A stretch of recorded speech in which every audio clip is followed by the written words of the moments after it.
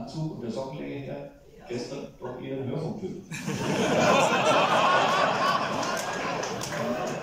Das will ich doch alles, das will ich doch alles, wie soll ich mal sagen? Zum Beispiel, wer hat gestern Polizei, wir machen gleich Pause, ja? Du wirst ja gleich, verdienst du wieder mit am Getränkeverkauf. Wer hat gestern den Polizeiruf 110 gesehen? Stefan Kurz, oder? Peter Kurz. Ja, Peter. Und äh, der großartige Schauspieler äh, Sascha Nathan, der diesen dicken pädophilen Mathelehrer gespielt hat. Und da zeigt sich auch, wie clever so deutsche Drehbücher sind. Ja? Nach 30 Sekunden war der schon im Bild. Und wenn er ein Schild umgehabt hätte, ich will nicht